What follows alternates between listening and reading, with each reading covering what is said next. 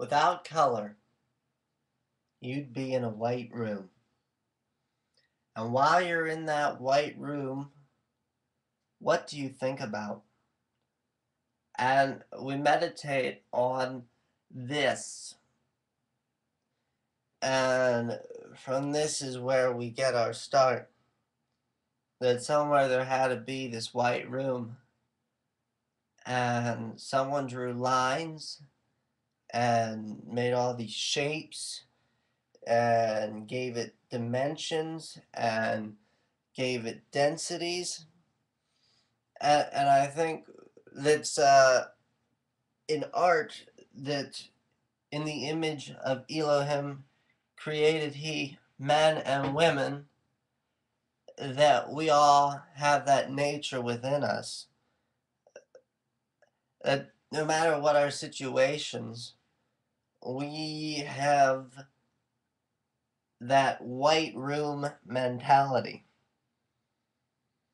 That we are from a nature in us, created in us, beyond all that is physical.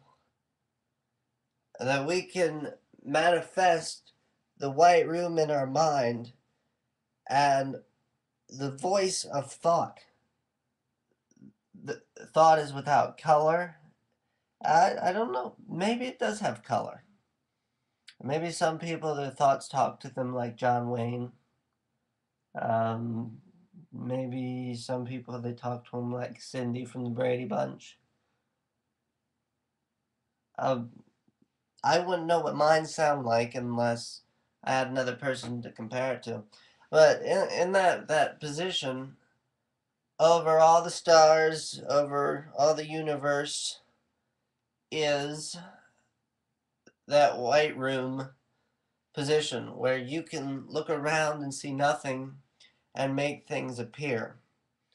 And a lot of times, this dreams, uh, this delusion, um, becomes a ruin in excess because we don't know what to stop. And that despite um, where we all are, all the pictures we see, each of us go to a white room and everybody shares that same white room because it's white. It's without, it's just where the thoughts go. But from that white room, we've created such worlds, such things, some of which aren't even true. You look someone in the eyes and you know what they're thinking, and you know what they're thinking, and then they're looking at you without a thought in the world, just sort of getting on with their day. And some people get that mentality that everybody's out to attack you, everybody's out to get you.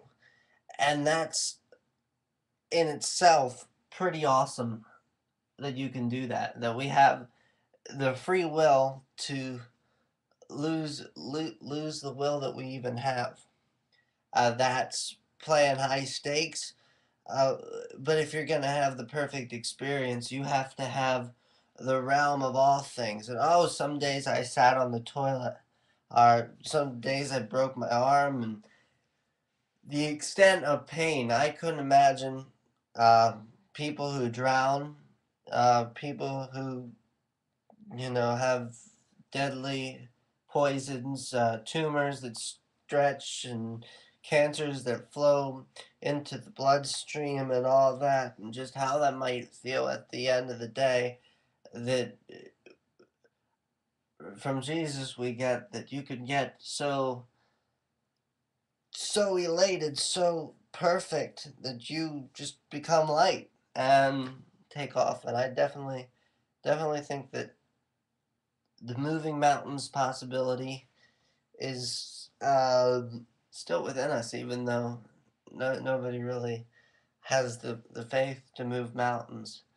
Um, so there is such a stretch of uh, reward and punishment.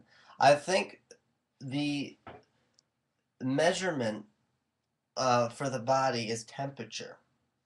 Um, heat or am I too hot? Am I too cold? I just have to be just right. So the extremes of all things are extreme frost and extreme heat. Of course, when you get so so cold, I read this in my psychology book, that the heat receptors as well as the cold receptors both go off. That's why when you go to take a bath after you're outside playing in the snow, it, it hurts a lot. So what we know is rational isn't necessarily the laws of physics. What would um, there's certain points of stretch that get so far that things bend or things go bizarre or get lost in a white room. So we, we have to uh, manifest our reality within that white room.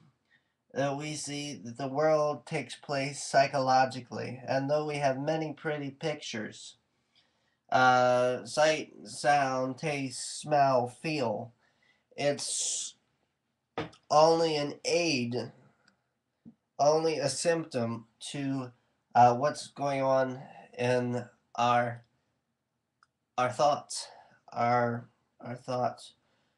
So at the same time, you can take that same white room and you can uh, change the windows, change the drapery. You can do all kinds of stuff. You can get some dogs, you can get some cats, and whatever takes place in here is what takes place down here. So in every situation, there was a day I was sitting in class, and I've been doing really good since then that when I was in uh, high school, I would think, oh well, I'll I'll learn this later, uh, because I I couldn't focus at the same time as I'm being taught, if if that makes sense. Um, but I realized that uh, that was a self-defeating thought, and I thought, well, now that I'm going to be in class, I'll sit there and listen and be on top of be on top of act as if I'm learning, not as if I'm someone who's gonna try and know it all. Um, and and it helps like that. So uh, despite your situations of what you blame uh, for what ails you, it uh, all is your fault. It's all you. You did it all. You did it all to yourself and you you made that white room that shiny bright whole loving white room. And you added some darkness to it to yourself.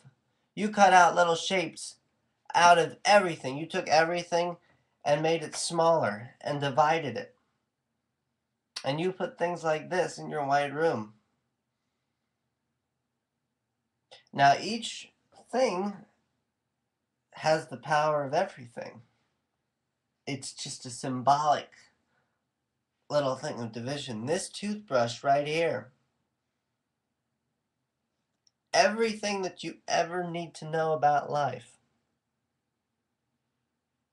And anything you need to know about the nature of a white room, of the nature of the creator, of the creation, of yourself, of your life, is in a toothbrush.